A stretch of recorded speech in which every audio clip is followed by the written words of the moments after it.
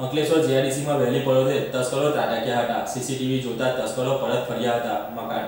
અને માલિકે દુકાન પર મોબાઈલમાં તસ્કરોને જોતા ઘરે આવ્યા હતા અને તસ્કરો ઘર નજીક રાહ જોવા મળ્યા હતા. મોટરસાયકલ પર આવેલા ત્રણ ચોરોનું વહેલી પડોદે કારસ્તાન સામે આવ્યું છે.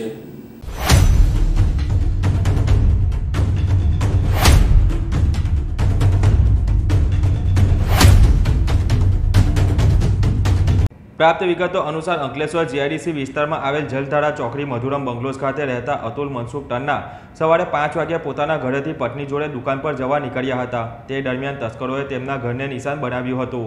અને મોટર બાઇક પર આવેલ ત્રણ તસ્કરો તેમના મકાનના મેઇન ગેટ ખોલી ઘરમાં પ્રવેશ્યા હતા. ઘરના ગેલેરીના પેસેજ પર પહોંચતા તસ્કરો સીસીટીવી જોતા થોડીવાર ઊભા રહ્યા હતા અને ત્યારબાદ ત્વરિત વાડાનો દરવાજો ખોલી નીકળી ગયા હતા. દરમિયાન સમગ્ર ઘટના સીસીટીવી પર અતુલભાઈ તન્નાએ પોતાના મોબાઈલ પર નિહાળતા અને ઘર તરફ પરત ફર્યા હતા અને ઘર નજીક ત્રણ જેટલા તસ્કરોને તેઓએ જોયા હતા અને ઘરમાં ચેક કરતા અંદર ચોરી ના થઈ હોવાનું બહાર આવ્યું હતું.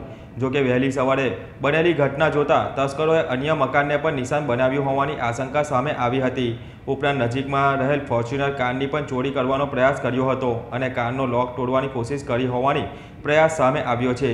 આ અંગે અતુલભાઈએ જણાવ્યું હતું કે ઘરમાં ચોરી થઈ નથી, પણ તસ્કરો વહેલી પડોતે પણ ચોરી કરવાનું ચૂકતા નથી. ત્યારે પોલીસ દ્વારા નાઇટ પેટ્રોલિંગ સોસાયટી તેમજ જાહેર માર્ગ પર વધારવામાં આવે અને પોલીસ પોઈન્ટ ગોઠવવામાં આવે તેવી માંગ કરી છે. અત્રે ઉલ્લેખનીય છે કે છેલ્લા કેટલાક સમયથી ચોરીની ઘટના વધી રહી છે. ત્યારે જીઆઈડીસી વિસ્તારમાં પોલીસ દ્વારા પેટ્રોલિંગ વધારવામાં આવે તે જરૂરી બન્યું છે.